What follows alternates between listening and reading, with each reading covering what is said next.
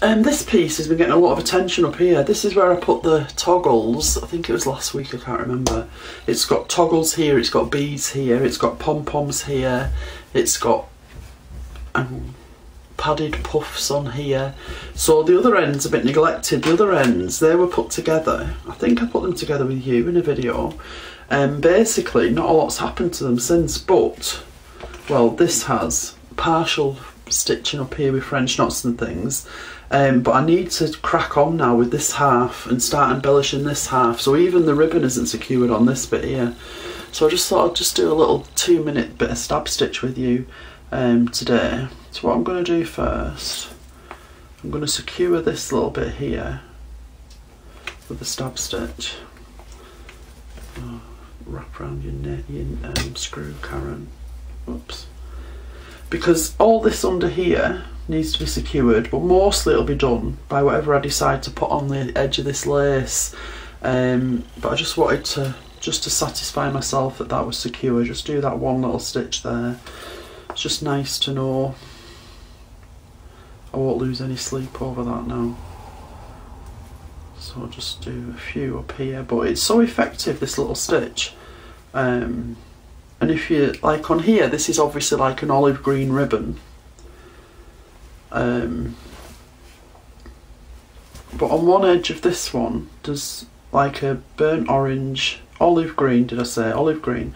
A burnt orange stitch along there, and then a raspberry pink up the other side and there's going to be lemon here and what I might do on the other side, the opposite side to where I'm putting these little stab stitches is I'll probably do some turkey work because I think this piece needs some turkey work and I might put some more toggles together today but not with ribbon because my ribbon supplies are running low um, in my ledger class we're using a raspberry coloured ribbon and I've only got two, maybe seven inch strips of that left. And I went on the internet yesterday to order some more and they didn't have any. And I think it's my own fault because I told everybody in class where I bought it, so they've probably all bought it. So thanks for that. Um, but there's more than one way to make a toggle. I'll have to do it the conventional way. So you can see, hopefully,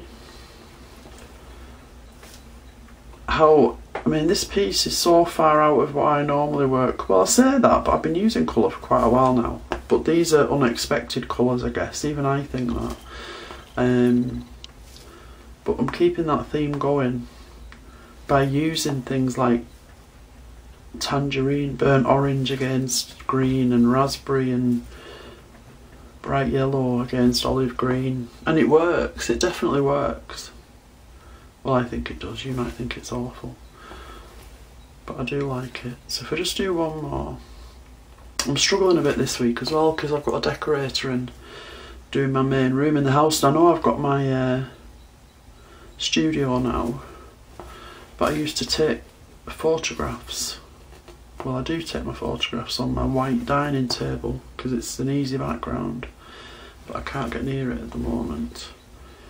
It's just disruptive, isn't it, having I'm not complaining because this time next week my lounge will be finished and it'll be amazing. But it is disruptive and it's getting used to working that disruption. I've got a feeling I'm going to be in here all week, just hiding, which is no bad thing. No bad thing at all. So there, so I hope that gives you a sense of how I'm carrying on this kind of really unexpected colour through the whole of this piece.